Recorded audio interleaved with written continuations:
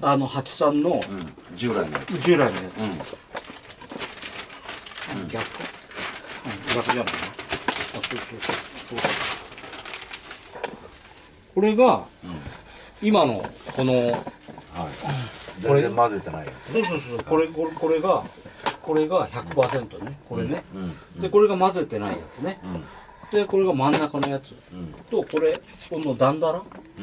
これがこれが従来品。うん。発散の、うん。でこれが100%これ。ああこのくらいペースト状その代わりちょっと垂れますよ。うん。で半分混ぜると垂れませんよ。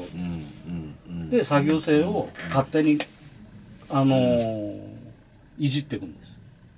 なるほどね。うん。だから欲しがる人何人かいました見せるとああなやっぱるほどこの面よりこっちの方がいいもんね。まあこの面見ればね、うん。多少ね、うん。いいですよ。でこれはビニールでこう剥がして取るはいはいだけなんです、はいはい。だからこれヘラでこう伸ばすとうん。平らにスーッと伸びるんですよね。はい。でだから、はアルミの傷なんか直すのは、うん。もうこの辺でうん。スーッと伸ばしてやった方がいいぐらいで FRP のあの型に理系剤処理して、うん。これ取ればうん。このペースト状うん。で取ればうん。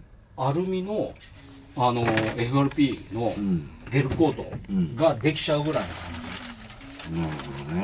感じ、う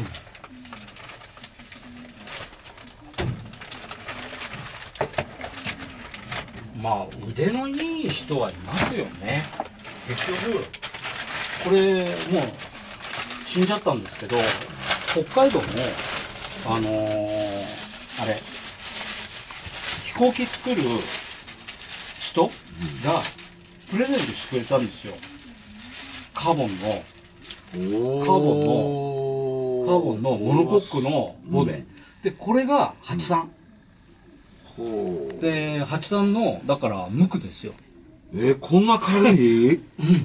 ねうんで俺分かんなかったんですよこれがねこれアルミの板のように見えるんだあよ見見えますよね、うんだからこれですよ社長そうだよねうんだって83しか売ってないんだからこの巣の入り方だとこうさそうアルミの板のような気がするけど、うん、きって思わず聞いちゃったんですよ。これアルミなのっつったら、いや、違うんですよ。つって。あ、そう、そういえばそうだね。つって。気泡が。つって。あ本当だはうん。で、ここ、刻印が書いてある通り、いあれ、2005年？はいだから、継ぐ年、2006年に、うんそいつ亡くなっちゃったんですよね。うんうん。だから遺作なんですよね。で、これ、材料送ったんですよ。モノコックの、うん作って、っつって、じゃあ、つって。それで、飛行機作ったんです。グライダー。3メーターの。あうん。FRP の。で、考えたみたいですよ。あのーホームページに載ってますけど、この作り方。あうん。どうやって作りますかって言ってたから、うーん、ああやってこうやって、つって。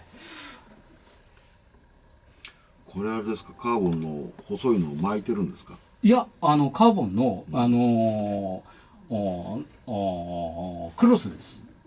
カーボンのクロスを、うん。あの、送ってやって、うん。それで FRP、うん。あの、この材料、68って、うん。ええ。これでハンドルアップして、で、中、チューブかなんか入れて、砂込かなんかしたか、あのーあれ、あの、氷、外に出し